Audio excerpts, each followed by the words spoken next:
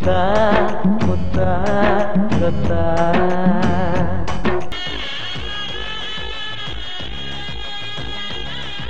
ಅಯ್ಯೋ ನನ್ನ ಸಿಚುವೇಶನು ಚಡ್ಡಿಯಲ್ಲಿ ನೇಣ ಹಾಕೊಳಂಗೆ ಆಗ್ಬಿಟ್ಟಿದೆ. ಈ ಕಡೆ ನೋಡಿದ್ರೆ ಅಮ್ಮ ಈ ಕಡೆ ನೋಡಿದ್ರೆ ಹೆಂಡತಿ. ಇಬ್ರು ಜಗಳ ಮಧ್ಯೆ ಹುಟ್ಟುತ್ತಾ ಇರೋ ಬೆಂಕಿಯಲ್ಲಿ ನನ್ನ ಅಂಡ ಸುಟ್ಟು ಬೆಂಕಿ ಆಗ್ಬಿಟ್ಟಿದೆ. ಅದಕ್ಕೂ ಇವರಿಬ್ರು ಮಧ್ಯೆ ಇವತ್ತು ಏನು ಜಗಳ ಆಗಿದೆ ಅಂತ ನೋಡನ್ವಾ ನೋಡನ್ವಾ ನೀವಿಬ್ರು ನನ್ನ ಎರಡು ಕಾಲಿದ್ದಂಗೆ. ಅಲ್ಲ ಕಣ್ಗಳಿದ್ದಂಗೆ. ಆ ನನಗೆ ಎರಡು ಕಣ್ಗಳು ಬೇಕು. ಒಂದು ಕಣಕ್ ಬೆಣ್ಣೆ ಇನ್ನೊಂದು ಕಣಕ್ ಸುಣ್ಣ ಹಾಕಕ್ಕಾಗಲ್ಲ. ಅಯ್ಯೋ ಮಗನೇ ಸುಣ್ಣ ಬೆಣ್ಣೆ ಎರಡು ಹಚ್ಕೊಂಡ್ರೆ ನಿನ್ ಕಣ್ಣೆ ಉರಿಯೋದು. ಅದ್ರ ಬದಲು ಒಂದ್ ಕಣ್ಣಿಗೆ ಸೂಜಿ ಚುಚ್ಕೊಳ್ಳಿ. ನಿಮ್ಗೆ ಒಂದೇ ಕಣ್ಣು ಸಾಕು ನಾನು ನಿಮ್ಮನ್ನ ಕಾಪಾಡ್ಕೋತೀನಿ. ಲೇ ನಿನ್ಗೆ ತೆಡ್ಡೆ ಹಾಕೊಳ್ಳೋದು ಬರ್ದೇ ಇದ್ದಾಗ ತೆಡ್ಡೆ ಹಾಕೋದನ್ನು ಕಲಿಸಿ ಇವತ್ತಿಗೆ ಎಂಬತ್ತು ಸಾವಿರ ಸಂಬಳ ತಗೊಳ್ಳೋ ಹಂಗೆ ಮಾಡಿದ್ನಲ್ಲ? ನಾನು ಮೂಲೆ ಗುಂಪು ಮಾಡ್ಬಿಟ್ಟಿದ್ಯಲ್ಲೋ? ಏನು ಮಾತಾಡ್ತಿದ್ಯಮ್ಮ? ಮೂಲೆ ಗುಂಪ. ನೀನೆಲ್ಲಿ ಮೂಲೆಯಲ್ಲಿ ಮಲ್ಕೊಂಡಿದ್ಯಾ? ನಿನಗೋಸ್ಕರ ಒಂದು ರೂಮ್ ಇಲ್ವಾ ತಾಯಿ? ಹಾಂ ಊಟ ಕೊಟ್ಬಿಟ್ಟು ಬಟ್ಟೆ ಕೊಟ್ಬಿಟ್ಟು ರೂಮ್ ಕೊಟ್ಬಿಟ್ಟು ಇದ್ರೆ ಸಾಕ. ಇನ್ನೇನು ಬೇಡವಾ? ಮರ್ಯಾದೆ. ಮರ್ಯಾದೆ ಎಲ್ಲಿಂದ ಕೊಡ್ತಾ ಇದ್ದಾಳ ಅವಳು? ಯಾರ್ಯಾರಿಗೆ ಏನು ಇರಲ್ವೋ ಅವ್ರಿಗೆ ಅದ್ರ ಚಿಂತೆ. ನಿಮ್ಮ ಅಮ್ಮನ್ಗೆ ಹೇಳಿ ಮರ್ಯಾದನ್ನ ಕೊಂಡ್ಕೊಳ್ಳೋದಲ್ಲ ಗಳಿಸ್ಕೋಬೇಕು ಅಂತ ಹೇಳ್ರಿ.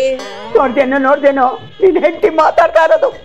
ನನ್ನ ಆಗ್ತಿರೋ ಸಂತಕ್ಕೆ ಆ ದುಬಾಯಲ್ಲಿರೋ ಬುರ್ಜ್ ಖಲೀಫಾ ಮೇಲೆ ನೆಗೆದು ಬಿಚ್ಚು ಬಿಡೋಣ ಅನಿಸ್ತಾ ಇದೆ. ಬುರ್ಜ ಖಲೀಫಾಗ್ ಹೋಗಿ ಡ್ರಾಪ್ ಮಾಡ್ಕೊಂಡ್ ಬನ್ರಿ. ದುಬೈಗೆ ಟಿಕೆಟ್ ನಾನ್ ಬುಕ್ ಮಾಡ್ತೀನಿ. ಎಷ್ಟು ಬುದ್ಧಿವಂತೆ ನನ್ನ ಹೆಂಡತಿ. ಡ್ರಾಪ್ ಮಾಡಿ ಬರಕ್ಕೆ ಬುರ್ಜ್ ಖಲೀಫಾ ಏನ್ ಬೆಂಡೆಕೆರೆಯಲ್ಲಿ ಇದೆಯಾ ನೀವಿಬ್ರು ಸೇರ್ಕೊಂಡು ಏನು ಮಾತಾಡ್ತಿದ್ದೀರಾ? ರೀ, ಇನ್ನೆಷ್ಟು ವರ್ಷ ನಿಮ್ಮ ಅಮ್ಮ ನಿಮ್ ಜೊತೆ ಇರ್ತಾರೆ? ಊರು ಹೋಗು, ಕಾಡು ಬಾ ಅಂತ ಇದೆ. ಕೊನೆವರೆಗೂ ನಿಮ್ ಜೊತೆ ಇರೋದು ನಾನು. ಹೇಳ್ರಿ ನಿಮ್ಮ ಅಮ್ಮನಿಗೆ ಯೋಚನೆ ಮಾಡಿ ಮಾತಾಡಕ್ಕೆ. ಇಬ್ರು ಒಂದು ಮಾತು ಹೇಳ್ತೀನಿ ಕೇಳಿ. ಯಾರೆಷ್ಟು ವರ್ಷ ಬದುಕಿರ್ತೀರೋ ಅದು ನನಗೆ ಗೊತ್ತಿಲ್ಲ. ನೀವಿಬ್ರು ಆಡೋ ಜಗಳ ಮಧ್ಯ ನನಗೆ ಈ ವಯಸ್ಸಲ್ಲಿ ಬಿ ಪಿ ಶುಗರ್ ಬಂದು ನಾನಂತೂ ಹೊಗೆ ಹಾಕ್ಸ್ಕೊಂತೀನಿ. ಇಬ್ರು ಒಂದು ಒಪ್ಪಿಗೆಗೆ ಬಂದ್ರೆ ಸರಿ. ಇಲ್ಲ ಅಂದ್ರೆ? ಆಯ್ತು ಬಿಡ್ರಿ. ನಿಮ್ಮಮ್ಮ ಹೇಳ್ದಂಗೆ ಕೇಳ್ತೀನಿ. ನಾನೇ ಮೊದಲು ಬಗ್ತೀನಿ. ಅಪ್ಪ ಇಬ್ರಲ್ಲಿ ಒಬ್ರಾದ್ರೂ ಬಗ್ಗಿದ್ರಲ್ಲ. ಅಮ್ಮ ನೀನ್ ಅದೇನ್ ಕೇಳ್ಬೇಕಾಗಿದ್ಯೋ ಕೇಳು. ನೋಡಪ್ಪ ಈ ಮನೇಲಿ ಶಾಂತಿ ನೆಲೆಸ್ಬೇಕು ಅಂದ್ರೆ ನಾನು ಹೇಳೋ ರೂಲ್ಸು ಫಾಲೋ ಮಾಡಲೇಬೇಕು. ನಿಮ್ಮಿಬ್ರದೇ ಸಾಕಾಗ್ಬಿಟ್ಟಿದೆ. ಇನ್ ನಿಮ್ಮಿಬ್ರು ಮಧ್ಯ ಶಾಂತಿ ಬೇರೆ ಬೇಕಾ? ಏ ನಾನು ಅದಲ್ವೋ ಹೇಳಿದ್ದು ಇನ್ನೊಬ್ಬರ ಬಗ್ಗೆ ಎಲ್ಲ ಮಾತಾಡಿದ್ದು. ಶಾಂತಿ ಅಂದ್ರೆ ಪೀಸ್ ಪೀಸ್ ಅಂತ. ಆಯ್ತು ಅದೇನ್ ರೂಲ್ಸ್ ಅಂತ ಸ್ವಲ್ಪ ಹೇಳು. ಆಯ್ತು ನಿನ್ನ ಹೆಂಡತಿಗಳು ಎಂಟು ಗಂಟೆಗೆ ಅಲ್ಲಾಡ್ಸ್ಕೊಂಡು ಹೇಳೋದಲ್ಲ ಐದು ಗಂಟೆಗೆ ಎದ್ದು ಬಿಡ್ಬೇಕು. ನಾನೇನು ಐದು ಗಂಟೆಗೆ ಹೇಳಕ್ ರೆಡಿ ಆದ್ರೆ ನಿಮ್ಮ ಮಗ ಬಿಡ್ಬೇಕಲ್ಲ. ನೀನು ಐದು ಗಂಟೆಗೆ ಹೇಳೋದಕ್ಕೂ ನನ್ನ ಮಗಂಗೂ ಏನೇ ಸಂಬಂಧ? ರಾತ್ರಿ ನನಗೆ ಬೇಗ ಮಲ್ಗಕ್ ಬಿಟ್ರೆ ತಾನೆ? ಲೀಲಿ ಅಮ್ಮನ ಮುಂದೆ ಅದೆಲ್ಲ ಹೇಳ್ಬೇಡ ಕಣೆ. ಇದ್ದಿದ್ದಾಗ ಹೇಳಿದ್ರೆ ಎದ್ ಬಂದು ಎದೆಗೋದ್ರಂತೆ ಏಯ್! ಏನಿದ್ರು ಹತ್ತು ಗಂಟೆ ಒಳಗೆ ಮುಗಿಸ್ಕೊಂಡು ನಾ ಬೇಗ ಮಲ್ಗಾಕ್ ಬಿಡು. ಆಯ್ತಮ್ಮ. ನನಗೆ ಇಷ್ಟವಾಗಿರೋದು ನೀನು ಫಸ್ಟ್ ಟೈಮ್ ಹೇಳಿದ್ಯಾ? ಮುಂದಿನ ರೂಲ್ಸ್ ಏನಮ್ಮ? ಆ ಅವಳಿಗೆ ಏನೇನು ಬಟ್ಟೆ ತರ್ತೀಯೋ ಅದನ್ನ ನಂಗೂ ತರಬೇಕು. ಆ? ನನಗೆ ಮಿಡ್ಡಿ ಬೇಕು ಅಂದ್ರೆ? ನನಗೂ ಅದೇ ಬೇಕು. ತಲೆ ತಲೆಗಿಲೆ ಕೆಟ್ಟಿದ್ಯಮ್ಮ. ಈ ವಯಸ್ಸಲ್ಲಿ ಮಿಡ್ಡಿ ಬೇರೆ ಹಾಕೊಂತೀಯ? ಏ ಏಜ್ ಆಗಿರೋದು ದೇಹಕ್ಕೆ ಹೊರತು ಮನ್ಸಿಗಲ್ಲ. ಇನ್ನೊಂದು ಕಂಡೀಷನು ಇನ್ಮೇಲೆ ನಾನು ಏನೇನು ಅಡುಗೆ ಹೇಳ್ತೀನೋ ಅದನ್ನ ಮಾಡಲೇಬೇಕು. ಈ ಕಂಡೀಷನ್ಗೆ ನಾನು ಒಪ್ಪಲ್ಲ.